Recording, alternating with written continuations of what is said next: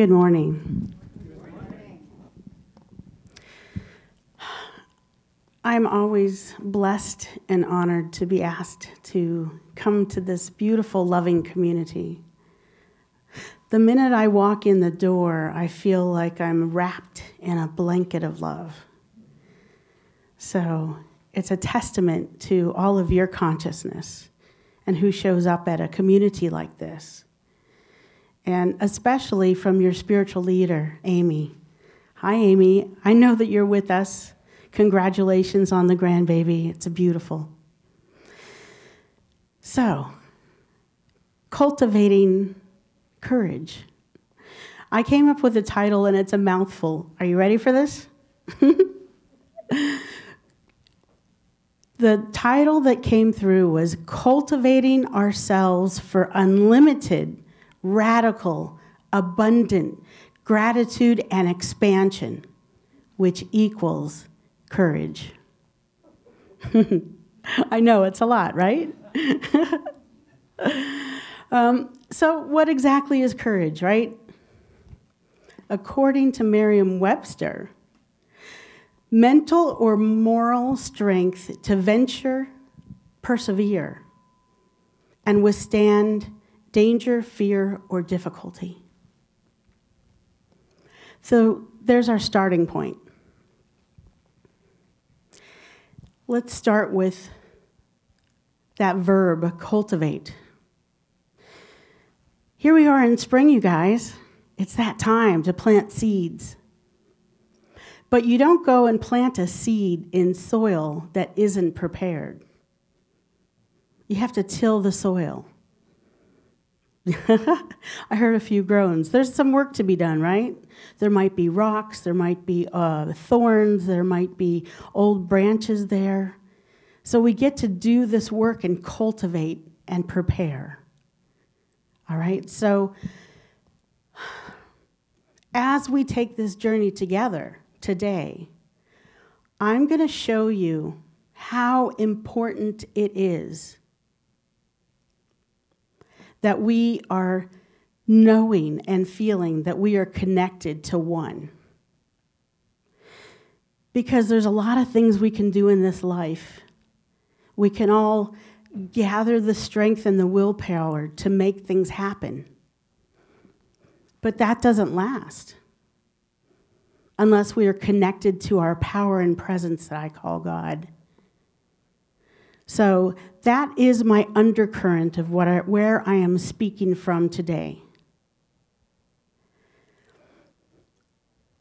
We are unlimited energetic beings. And you'll hear more about that at the Energy Codes workshop after, so make sure you stay. Giving myself a plug. so, with faith, opportunities come from difficulties. It brings us unlimited ways to fulfill our purpose of what we're to do on this planet while we're here. And without those things, let's call them fears, otherwise known as false evidence appearing real, those fears, they don't stop us. They don't have to stop us. They get to come along with us. in a little bit, I'm going to tell you a quick story about my travels when I was 21 to Europe and talk a little bit about how fearful I was and how it didn't stop me. But those fears are doorways and not walls, if we let them be. Franklin Roosevelt said, Courage is not the absence of fear, but rather the assessment that something else is more important than fear. Fear can be a great motivator. I don't know about you, but I have to admit something. I spend some time on YouTube and Facebook. And they show these great little videos of fathers and mothers tending after their little ones. And these little ones are about to take a step into a pool or a step off of a high curb. And somehow, it looks like a miracle. The parent catches them and scoops them up. It looks like a miracle, and what it is is fear that's cultivating that, that courageousness in that parent. Sometimes you see these little kids, it looks like they're going to fall and smash, and there's the father right there, and he scoops them up and saves them. The fear helped them be in action. And sometimes it looks like a radical feat that they've done, but it's not. It's their purpose to be here on this planet looking after their child. So, to live a courageous life is to stop being angry for what we don't have and honor and be grateful for what we do have. When we look at our lives, hmm, and when I look at my life, I choose daily to be abundantly grateful. And you know what? It doesn't matter if there's $5 or 500 or 5,000 in my account. I am grateful for what's there. I think all of you know because you're here. You're my spiritual brothers and sisters. Some of you, if I've met before, and some are new. We are on this journey together to know that we are hugely abundant because we are aware we're here. We know there is one. And that courage that I cultivated starting around 17 years old afforded me to take a trip and test my courage when I was at a place that I didn't know what I was going to do. I was going to art school in San Francisco. My parents got a divorce and said, There's no more money. We can no longer send you to school. And I said, What am I going to do? so, what I did was I bought a one way ticket to Europe. and I bought a train pass. And I went there to, I suppose, test, test my, my faith, my trust in spirit. See, my, my first teacher taught me at, at 17 how to meditate. She also taught me that I was the light. So I went to Europe not knowing maybe a few people. I knew someone in Milan and someone in Israel. And I had my train pass, and sometimes I traveled with a friend, and sometimes I traveled on my own. And if I got off the train, you guys, and I put my foot down on that soil and it didn't feel right, I spun around and got back on the train. I traveled for six months. People said, You're so brave, Cindy. And I didn't really take that in because I didn't really understand that this trip was for me to cultivate my bravery and my trust in spirit, in my practice, in my purpose. But I want to tell you about someone that is an inspiration to me in so many ways. His name is Nick Vujicic. Nick is one of the most courageous beings I've ever seen or heard on this planet. Nick was born to this world without any arms and any legs. Yeah, you might have seen him. He does motivational talks all over the planet. He is amazing. Think about this this little baby is born. He's got no arms and no legs, and the doctors don't know what to tell the parents because they haven't really seen this. So they tell the parents, he's probably going to just be a vegetable and lead a miserable life. You should just home him and move on. Ugh. Right? His parents are courageous. They were not willing to do that. And they came from a place of love and faith, knowing that God doesn't make any mistakes.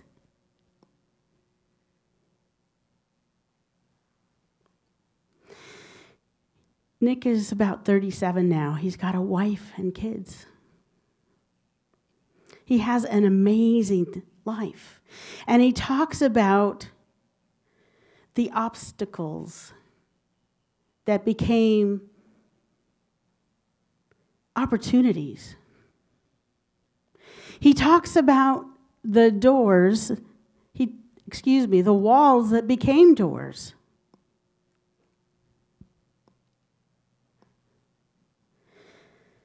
So as a kid, he was teased. You know how kids can be in school? I was one of those kids. I wasn't teasing, I was getting teased. He got teased and gawked at and told that he would never amount to anything, that he was ugly, and he should just go away. And you guys, here he is today, speaking to millions of people all over the planet. He talks about a miracle. That when he was a child, he was looking for a miracle. Yeah, okay, an arm growing back, a leg growing back. No, no, no. He was wanting somebody that looked like him to come to him and say, hey, you know what? I know this is tough. I know this is hard, and you can do it, and here's how, and here's why. He didn't have that. So one day he was doing one of his inspirational talks, and he looked out in the audience and he saw a 19th month old baby boy with no arms and no legs. And that's when he recognized I didn't get the miracle for my life, but I get to be the miracle for this little baby's life. One of my teachers at Agape, she always said, Our mess is our message. Right? There's not one soul on this planet that hasn't had challenges, that hasn't uh, mounted up to what they think they should be or could be at some point in their life. That is here for a reason.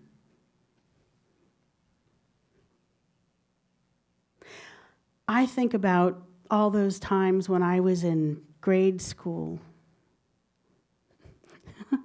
I don't know why I'm re- remembering this, but I had to get up in front of the class and, and uh, recite a poem about Hiawatha.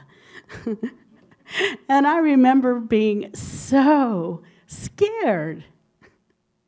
The words wouldn't even come out.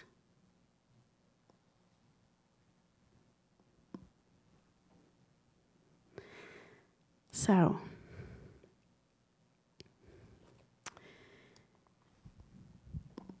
a kid with no arms and no legs has made a profound difference in so many lives. He shows up 110%, no matter what he does.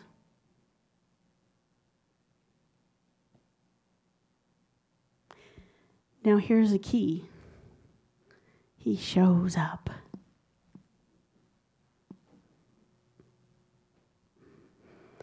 Is there somewhere in your life that you're not showing up?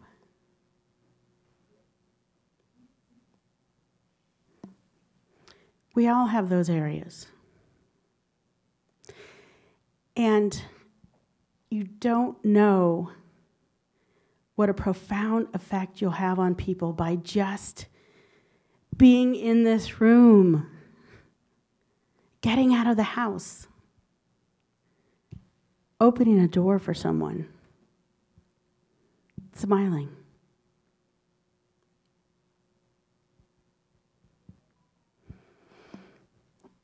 I'm a big follower of Brene Brown. I love her work. And she says, courage starts with showing up and letting ourselves be seen. That's the first step. So, when fear seems like it's stopping us, know that fear is just a part of the process. It's a part of life. Courage and fear are not mutually exclusive, you guys. It's a package deal. But here's the good news you can cultivate it, you can train yourself. Like going to the gym, and you start with five pounds, and then you move to 10 pounds. You can go out there in the world and take one little step at a time.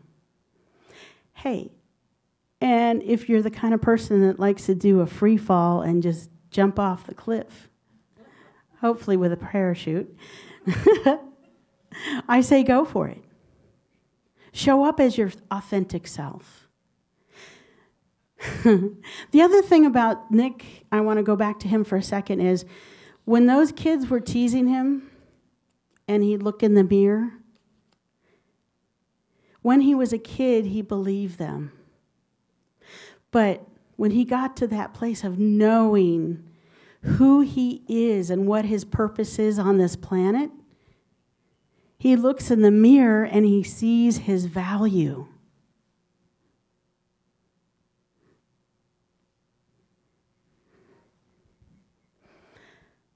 I have plenty of my own stories about not seeing my value. And I have plenty of stories since embarking on my spiritual path about seeing and knowing my value. I'm a work in progress, as are all of, all of us, right? So, Brene also Brene Brown also talks about vulnerability.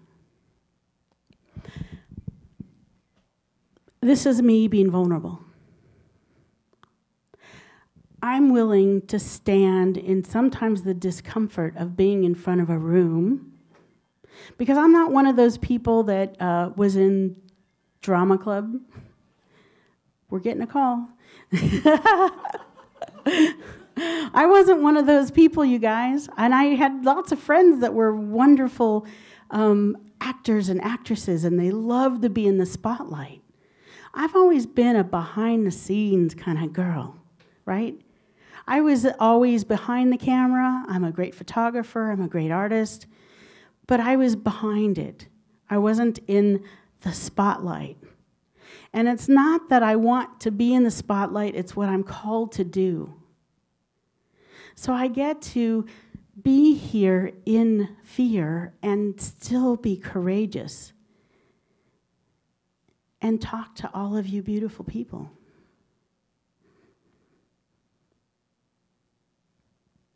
So I just want you just for a moment to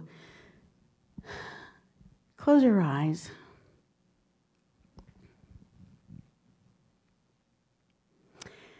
Take a deep breath.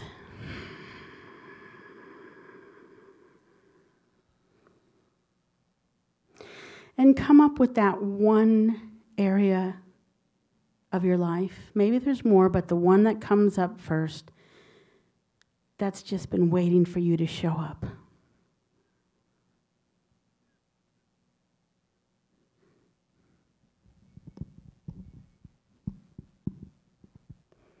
And when you have that in mind,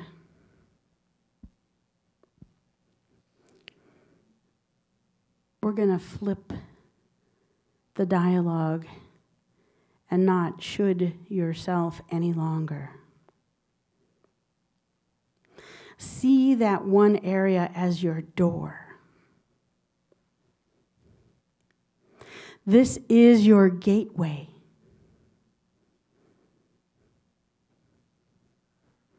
to courage. This is that place that you get to train and cultivate you as a courageous being. It is not something daunting or cursing you, it's calling you to pass the threshold. It might be a millimeter or a centimeter at a time, and it might be one big, bold step.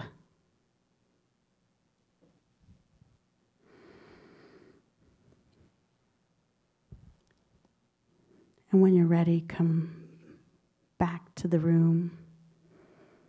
And from the words from Nelson Mandela, courage is not the absence of fear but the triumph over it.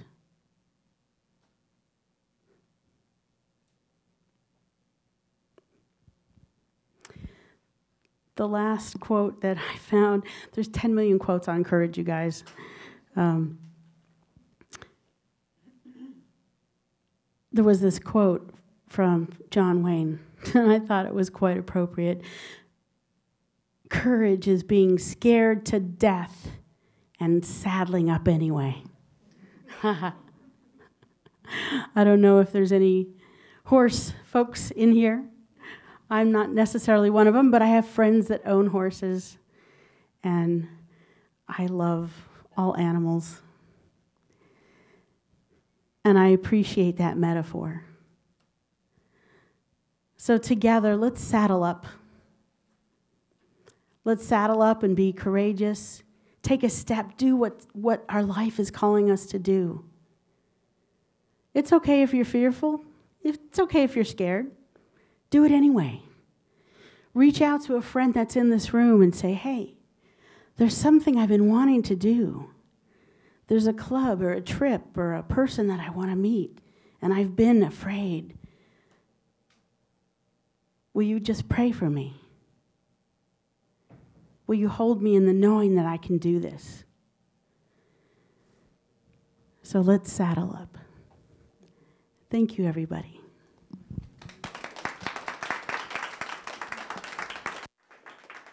Thank you so much.